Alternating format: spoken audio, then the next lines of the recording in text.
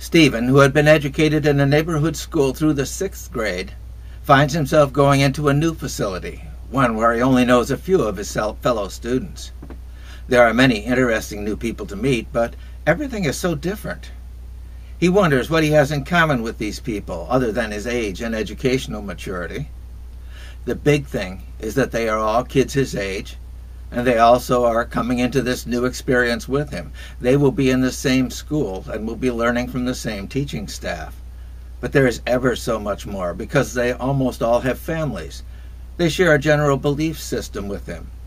They are citizens of the county, state, and nation. They are human and came into this world from parents. They all have the same human strengths and weaknesses in various extents. They are all either boys or girls. In this local context, they probably all speak the same language. Indeed, they have much in common already. It is only the personal relationship with other seventh grade students that is missing. One of the important things that they share is the urge to be with others who are somehow like them. They seek for friends and groups of people where they can share with others. They seek to become effective adults, though the details of what an effective adult is may be quite variable. They are all human beings with everything that implies. They are somehow like to every other human throughout the world, and like to every person who ever was or will be. Stephen has done nothing to join a county, state, or nation. He has no intentional decision to make about citizenship in the nation or becoming a member of humanity. He is, like all those in the new environment, linked by association. And association is the most diffuse of all human relationships because there is no freedom to enter into associations and little opportunity to quit being a member. Stevens can find importance in these associations, as this is how he knows a great deal about other people. They are like to him in many ways, as they are also associated with him.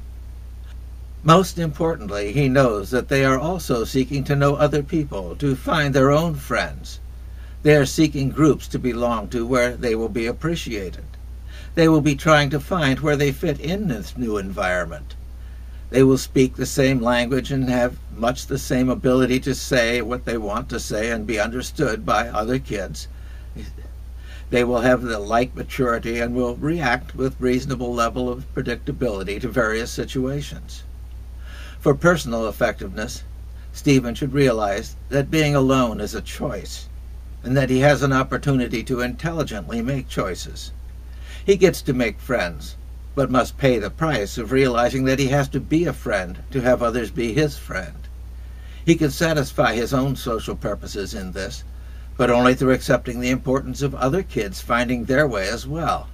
If he is going to be important to other children, then they are going to have to be important to him. Of course, this doesn't work with any particular person. The other person is also his or her own decision maker, and the choice to be friends only matters when they are both agreed on the value they will find in being friends. What makes friendship so effective is another very human reaction. If someone offers friendship, it is generally because they already want to be your friend. That is already finding value in being your friend, and there is nothing more attractive than someone who finds you attractive. The value of friendship is already offered, and all it takes to receive it is to agree to be a friend to the one who offers.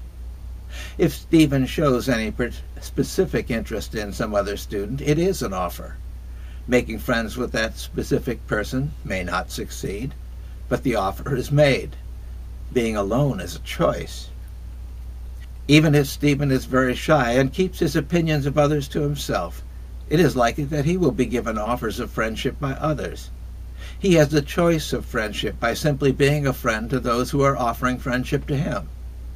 As we grow and mature, effectively becoming somewhat different people than our younger selves, our friendships and other relationships shift with us. The same is true, of course, for others and friendships shrink or grow and are even replaced as we pass through our teenage years.